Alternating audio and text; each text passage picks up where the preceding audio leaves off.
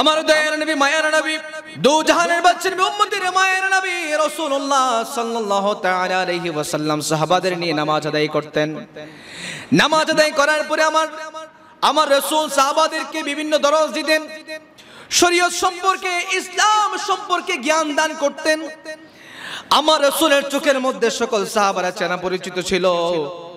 আমার দয়ার নবী সব সাহাবাদেরকে নামাজের পরে দেখতেন। কিন্তু আমার শুনেন একজন সাহাবী, তার নাম হচ্ছে তালহা। আমার দেখে না একদিন যাই, দুই দিন যাই, কয়েকদিন পার হয়ে যায় আমার সাহাবাদেরকে ডেকে বলে ও আমার আমরা সকল আমরা তোমাদের সবাইকে দেখি। কিন্তু আমার প্রিয় সাহাবাদ তালহাকে দেখি না। কি কারণ কারণ? একটু বলো না। তখন সাহাবারা বলতে লাগলেন, ইয়া রাসূলুল্লাহ, ইয়া হাবিবাল্লাহ।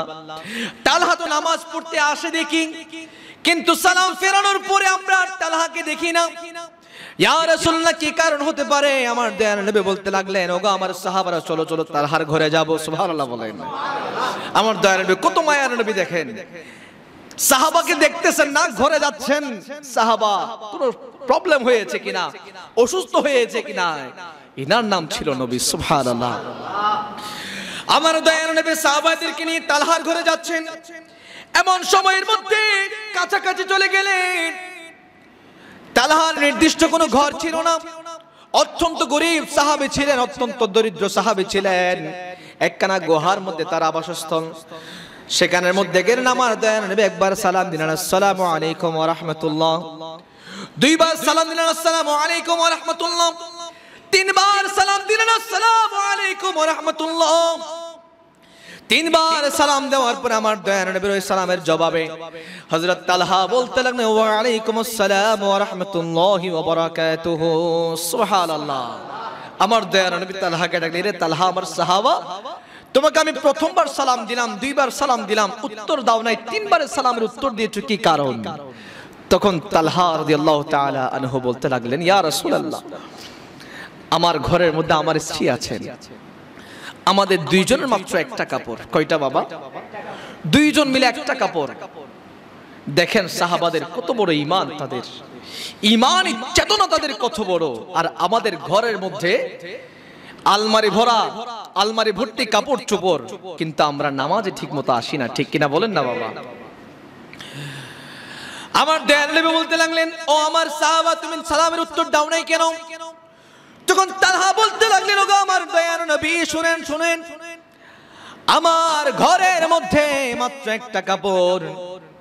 আমি ওই একটা কাপড় কিছুক্ষণ আমার স্ত্রী পড়ে স্ত্রী পড়ে নামাজ কালাম আদায় করে, আবার কিছুক্ষণ আমি পড়ি। আমার ঘরের মধ্যে আমি একখানা গর্ত খনন করলাম, অত্যন্ত গভীর একখানা গর্ত। যে গর্তের মধ্যে ওপর থেকে তাকাইলে বোঝা যায় না ভেতরে কে আছে।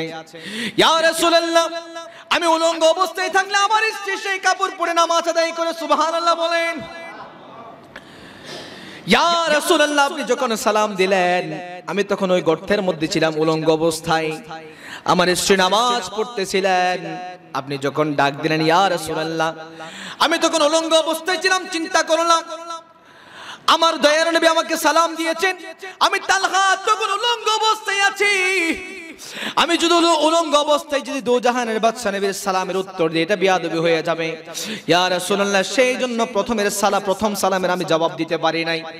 ওগো, আমার তালহা দ্বিতীয় সালামের জবাব দাও কেন ইয়া রাসূলুল্লাহ, দ্বিতীয় সালামের জবাব না দেওয়ার মেইন কারণ হচ্ছে ইয়া রাসূলুল্লাহ। দ্বিতীয় সালাম, সালামের জবাব না দেওয়ার মেইন কারণ হচ্ছে যখন আমার স্ত্রী গর্তের মধ্যে ঢুক- ঢুকতেছিলেন আর আমি কাপড়টা পরতেছিলাম এমন সময়ের মধ্যে আপনি দ্বিতীয় সালাম দিলেন। তখনও মনে করলাম, আমি তালহা মনে করলাম, তখনও যদি আপনি দয়ার নবীর সালামের জবাব দিতে হলে বিয়াদবি হয়ে যাবে। ইয়া রাসূলুল্লাহ, ইয়া সেই জন্য আমি দ্বিতীয় সালামের জবাব দেই নাই। সুবহানাল্লাহ। দেখেন রাসূলের প্রতি তাদের সম্মান কতটুকু। এরপরে ইয়া তৃতীয় যখন সালাম দিয়েছেন তখন আমি কাপড় পরিধান করলাম, এরপরে আপনি রসুলের সালামের জবাব দিলাম। দরজা খুললাম, আপনি রসুলের নোরানি চেহারায় মোবারক দেখে আমি তালহার অন্তর শীতল করে নিলাম। সুবহানাল্লাহ। দেখেন তাদের ইমানি চেতনা কতটুকু। একটা মাত্র কাপড়। তখন আমার দেয়ার বলতেন ও আমার তালহা আমি বুঝে গেলাম। তুমি কেন না? তোমাকে কেন মসজিদে নববীর মধ্যে দেখি না? ইয়া রাসূলুল্লাহ, ইয়া হাবিবাল্লাহ, আমি প্রতি ওয়াক্তে নামাজের মধ্যে যাই, প্রতি ওয়াক্তে মসজিদের মধ্যে যাই। আপনি রাসূলের পেছনে আমি নামাজ আদায় করি, আপনি রাসূলের পেছনে আমি নামাজ আদায় করি। নামাজ শেষ করে আমি দ্রুত চলে আসি, কারণ ওই গর্তের মধ্যে আমার স্ত্রী আমার জন্য অপেক্ষা করছে। আমি যখন ঘরের মধ্যে যাব, আমার কাপড়টা দিয়ে আবার আমার স্ত্রী নামাজ আদায় করবে। ইয়া রাসূলুল্লাহ, আমি যদি মসজিদের মধ্যে যদি সময়টা পার করে ফেলি, তাহলে আমার স্ত্রী নামাজ আদায় করতে পারবে না। তাহলে আমার স্ত্রী ওয়াক্ত পাবে না। ওয়াক্ত চলে যাবে। ইয়া রাসূলুল্লাহ সেই জন্য আমি তাড়াতাড়ি মসজিদ থেকে চলে যাই। যেন আমার আমার স্ত্রী ওয়াক্ত মতো নামাজ আদায় করতে পারে। সুবহানাল্লাহ। দেখেন না, মাত্র একটা কাপড় ছিল। এরপরও স্ত্রী এবং স্বামীর নামাজ কাজা হয়েছি রে বাবা?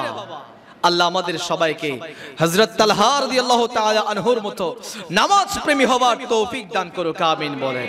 মেরে উল ফতমদিনে সে ইউহি নেহি, মেরে আকা কা রোজাম দিহনে মে হে, মে মদিনে কি জান বিনা, কেসে কিছু किछू मैं मदीने की जान बिना कैसे किछू मेरे दीन और दुनिया মদিনে মে হে সুবহানাল্লাহ বলেন না বাবা আশিক বলছে আমার দিন আর দুনিয়া সবকিছু মদিনার জন্য সাহাবায়ে ইকরামদের ঈমানটাও তেমন ছিল আমাদের যা কিছু আছে সবকিছু ইয়া রাসূলুল্লাহ আপনার কদমে কুরবান করে দিলাম সুবহানাল্লাহ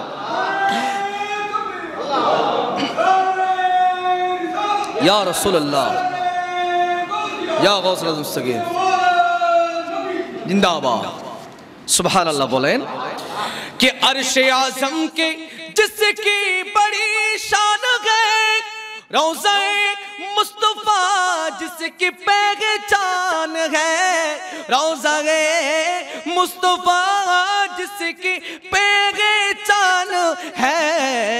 جس کا ہم پلہ کو محلہ نہیں، جس کا ہم پلہ کو محلہ نہیں۔ ایک ایسا محلہ مدینے میں ہے۔ یا رسول اللہ، محبت آواز ہے یا رسول اللہ یا رسول اللہ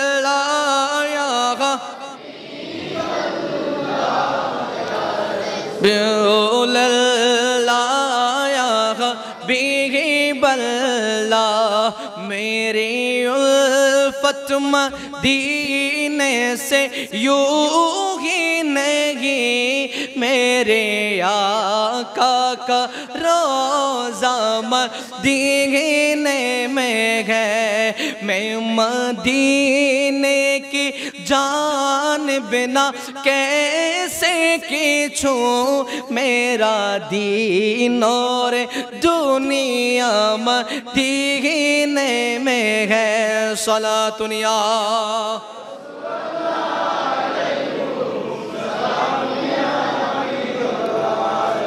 তারা আল্লাহকে ভালোবেসেছিলেন, সাহবায়ে কেরামরা।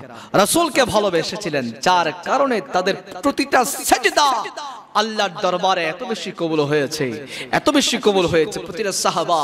আমার আল্লাহ পাক রব্বুল আলামিন আমার দয়ার নবীকে, আমার দয়ার নবীকে বলতেন ও গো আমার নবী, আপনার সকল উম্মতদেরকে জানিয়ে দিন, আপনার সাহাবারা আমি রব্বে করিমের কাছে আকাশের তারার মতো তাদের কোনো তুলনা সুবহানাল্লাহ বলেন না বাবা। আকাশের ওই তারকা যেমন রাতের অন্ধকারে পুরো আকাশটাকে সুন্দরভাবে সাজিয়ে রাখে। আর আমার এই সাহাবাগুলো, ইয়া রাসূলুল্লাহ, সাহাব, আপনার এই সাহাবাগুলো, এমন তাদের শানমান, আমি রব্বে করিম তাদের সাথে ওই আকাশের সুন্দর তারকার সাথে তুলনা করে দিলাম, সুবহানাল্লাহ। কেমন ভালোবেসেছেন তারা? ইমানটা তাদের কত মজবুত ছিল বাবা। প্রতিটা হাদিস মোবারকা থেকে বলি। এখানে বানোয়ার কোনো কথা হয়নি রে বাবা। সব কিছু মিথ্যাচার করা যায়, কিন্তু এই জায়গাটা এমন একটা জায়গা, এখানে মিথ্যার কোনো লেশমাত্র থাকতে পারে। আমি আপনাদেরকে বুঝিয়ে চলে গেলাম। কিন্তু আল্লাহর কাঠগড়া থেকে কেউ ছাড় পাবে? প্রতিটা কথা কিতাব থেকে, প্রতিটা কথা কোরআন, হাদিস থেকে। আল্লাহ আমাদের সবাইকে সাহবাদের মতো হওয়ার তৌফিক দান করুক, আমিন বলো একজন আমার রসুল পাকের সাহাবা। তিনি গোপন ইসলাম ধর্ম গ্রহণ করেছিলেন। গভীর মনোযোগ বাবা।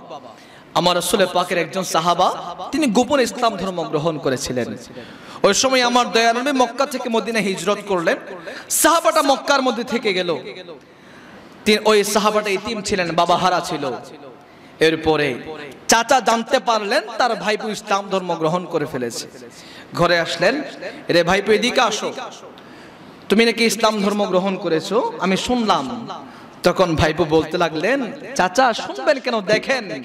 আশহাদু আল্লা ইলাহা ইল্লাল্লাহ ওয়াহদাহু লা শারীকা লাহু ওয়া আশহাদু আন্না মুহাম্মাদান আবদুহু ওয়া রাসূলুহু। সুবহানাল্লাহ। চাচা অত্যন্ত রাগান্বিত হয়ে গেলেন।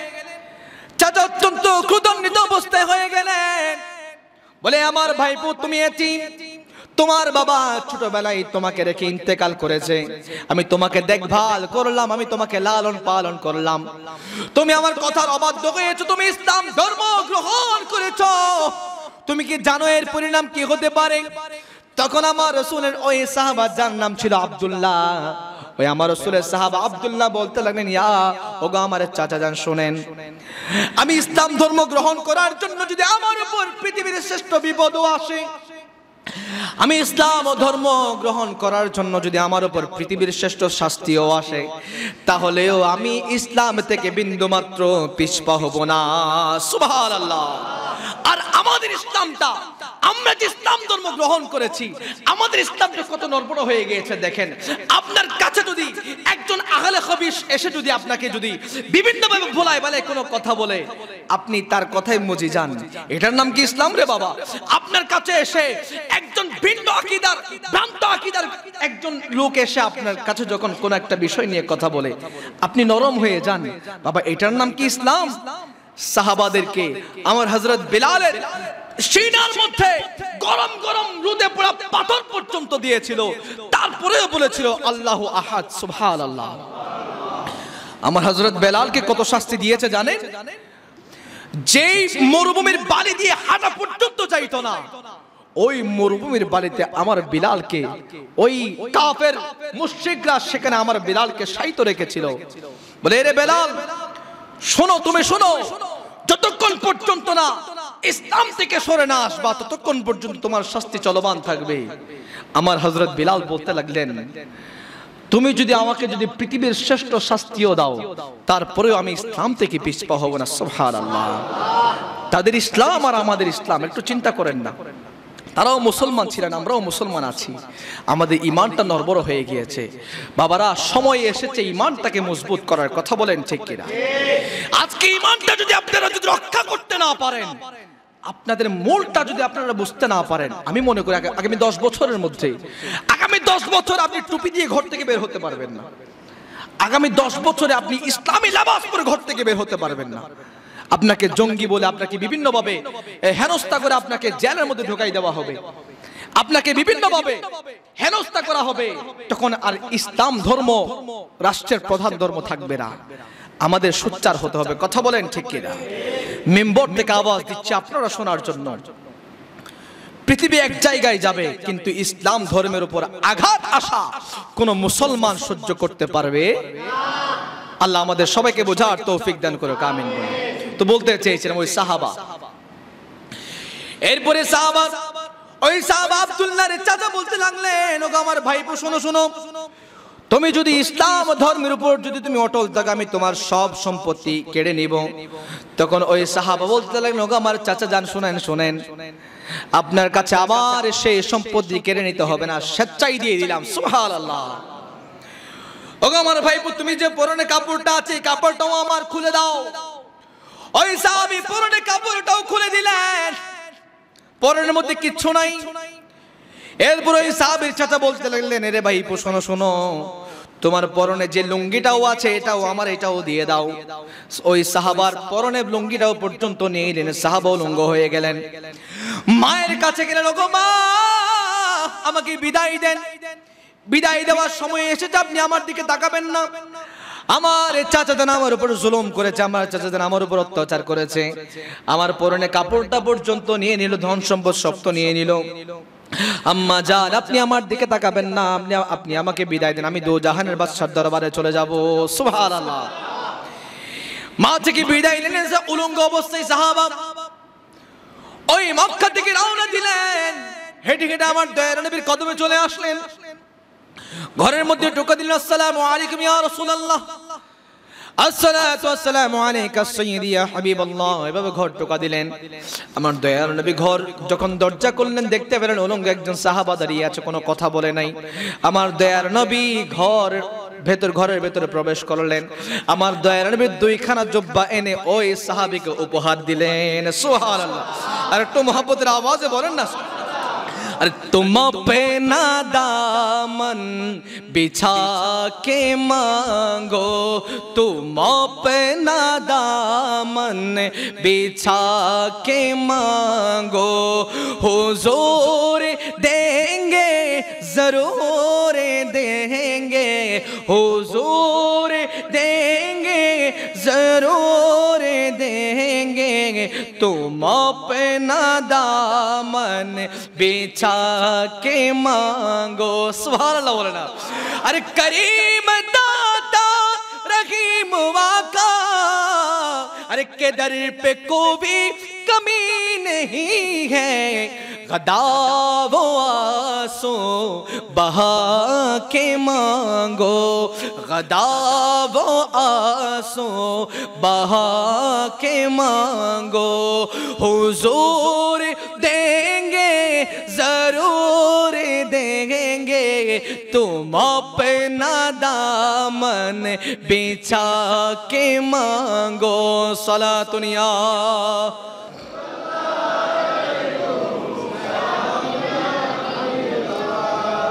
সাহাবার বিশ্বাস ছিল, পরনে কাপড় নাই।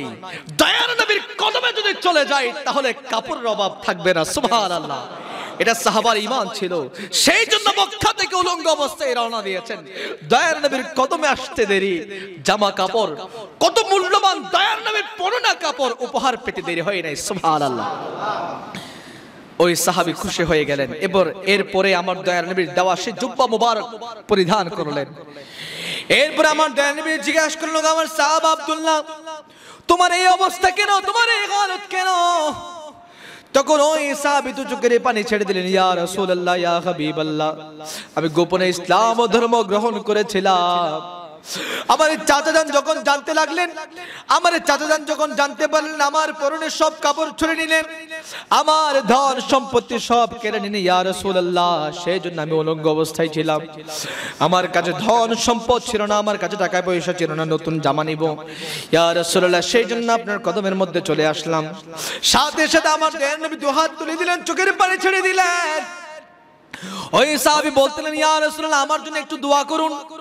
আমি যেন ইসলামের জন্য জান দিই, আমি যেন ইসলামের জন্য শহীদ হয়ে যাই। সোহার আল্লাহ দেখেন তাদের শহীদি চেতনা তাদের শহীদি তৃষ্ণা তাদের কীভাবে ছিল? ইয়া রাসূলুল্লাহ, একটু দোয়া করেন, আমি যেন, আমি আব্দুল্লাহ জানটা যেন ইসলামের পথে কুরবান হয়ে যায়। সুবহানাল্লাহ। আমার দয়ার নবী দু হাত তুলে দিলেন, আল্লাহর দরবারে ফরিয়াদ করতে লাগলেন। আমার বাড়িতে আলো আমার সৃষ্টিকর্তা। আমার এই সাহাবি আব্দুল্লাহর জানটা আপনি কাফের মুশরিক থেকে হেফাজত রাখুন, সুবহানাল্লাহ। সাহাবী বলতেন দোয়া করতে বলেছি আবার জানটা যেন ওই ইসলাম ধর্ম প্রচার করতে করতে ইসলামের জন্য যেন শহীদ হয়ে যায়, ইসলামের জন্য যেন জান দিতে পারি। ইয়া রাসূলুল্লাহ, আপনি দোয়া করলেন উল্টা, তখন আমার দয়াল নবী বলতে লাগলেন, আমার সাহাবা, তোমার অন্তরে ছিল তুমি শহীদ হবা, তোমার অন্তরে ছিল, তোমার নামটা শহীদদের কাতারে থাকবে আল্লাহ কবুল করে নিয়েছেন সুহান আল্লাহ তোমার এই জানটা অন্য কোন সাহাবিদের মতো নয়। তোমার জানটা অত্যন্ত মূল্যবান জান তুমি অত্যন্ত মূল্যবান একজন সাহাবি, আমি রসুলের কাছে। তোমার জানটা কোন কাফের মুশরিকদের হাতে দিতে আমি দেব না সুহান আল্লাহ এরপর ওই সাহাবি আমার দয়াল নবীর সাথে থাকতেন। এক সময়ে একটা যুদ্ধের মধ্যে আমার দয়ার নবীর সাথে গেলেন। যাওয়ার পরে যুদ্ধ শুরু হলো, যুদ্ধ শুরু হলো। এরপরে ওই সাহাবী আমার দয়ার নবীর সাথে আছেন। যুদ্ধ শেষ হলো। ইসলাম বিজয় দান করণের পরে যুদ্ধ থেকে ফেরার পথে ওই সাহাবী পথের মধ্যে অসুস্থ হয়ে গেলেন। আমার দয়ার নবীর কাছে সাহাবায়ে কেরামরা সবাই নিউজ নিয়ে আসলেন, ইয়া রাসূলুল্লাহ, আপনার প্রিয় সাহাবী আব্দুল্লাহ অসুস্থ হয়ে গেলেন। আমরা আসার পথিমধ্যে মাঝ পথে আপনার সাহাবী অসুস্থ হয়ে গেলেন। আমার দয়ানবী বলে ও আমার সাবরা তোমরা যেভাবে ইসলাম ধর্ম গ্রহণ করেছ, আমার এই সাহাবি ওইভাবে নয়, অত্যন্ত কষ্ট করেছে ইসলামের জন্য। আমার ওই সাহাবীর তোমরা সবচেয়ে বেশি যত্ন নিবা। সুন্দরভাবে যত্ন নিচ্ছেন। পরে আমার ওই দুনিয়া থেকে নিয়েছেন ইন্না লিল্লাহি ওয়া আমার দু চোখের পানি ছেড়ে দিলেন। আল্লাহর দরবারে ফরিয়াদ করতে লাগলেন সাহাবীর জন্য। এবং সকল সাহাবায়ে শোনাই বললেন, ওগো আমার সাহাবারা, আমার আব্দুল্লাহর জানাজার নামাজের ইমামতি আমি রাসূল স্বয়ং করব। সুবহানাল্লাহ। দেখেন না বাবা, যার জানাজার মধ্যে দয়ার নবী নিজেই ইমাম হয়ে যাচ্ছে, তার মর্যাদা কতটুকু হতে পারে? সুবহানাল্লাহ। কেন হয়েছে বাবা? নিজের জানটা ইসলামের জন্য কুরবান করে দিয়েছে। ইসলাম ধর্ম গ্রহণ করেছে যা- ইসলাম ধর্ম গ্রহণ করার কারণে তার উপর অনেক অত্যাচার উঠেছে, অনেক নির্যাতন হয়েছে, নিজের উপর অত্যাচার হয়েছে। এরপর ইসলাম ছাড়ে নাই। যার কারণে আল্লাহ পাক রব্বুল আলামিন স্পেশাল রহমত তাকে দান করেছেন। যার জানাজার ইমামতি আমার আমার স্বয়ং রাসূলুল্লাহ করেছেন। সুবহানাল্লাহ। এরপরে আমার দয়ার নবী জানাজার নামাজ সম্পন্ন করলেন। সাহাবায়ে কিরামদেরকে ডেকে বলো আমার সাহাবারা আমার এই সাহাবীর কবর তোমরা কোথায় খনন করলা? তখন সাহাবারা বলতে লাগলেন, ইয়া রাসূলুল্লাহ, ওই দুই পাহাড়ের চিপার মধ্যে আমরা আপনার সাহাবী আব্দুল্লাহর কবর খনন করলাম। আমার দয়ার নবী সেখানের মধ্যে গেলেন এবং বললেন, সাহাবারা, আমার এই সাহাবীর কবরের মধ্যে স্বয়ং আমি নিজে নামবো? সুবহানাল্লাহ বলেন। আমার এই সাহাবীর কবরের মধ্যে আমি স্বয়ং নিজে নামবো। এরপর আমার দয়ার নবী ওই সাহাবীর কবরের মধ্যে নামলেন। এবং আমার সিদ্দিক আকবরকে ডাকলেন, এরে সিদ্দিক আকবর, এদিকে আসো, তুমিও আসো আমার সাথে। আমার ফারুক আজম কেউ ডাকলেন, এরে আমার ফারুক আজম, ওমর, এদিকে আসো, তুমিও আসো আমার সাথে। এবার পৃথিবীর শ্রেষ্ঠ তিনজন মানুষ, আমার দয়ার নবী, যিনি হচ্ছেন নবিকুল সম্রাট, আর দুইজন সাহাবী, সিদ্দিক আকবর, ফারুক আজম, যাদের সাথে কোনো সাহাবীর তুলনা হয় না। এমন সাহাবী, তেনারা, ও ওই সাহাবির কবরের মধ্যে আছেন, মাটি দিচ্ছেন, এদিকে এক সাহাবি হু হু করে কান্না করছেন। কিরে কান্না করছে কেন? কে কান্না করছে? দেখতে পেলেন আমার দয়ার নবীর এক- একজন সাহাবী, যিনি সেখানের মধ্যে আমার দয়ার নবীর একজন সাহাবী।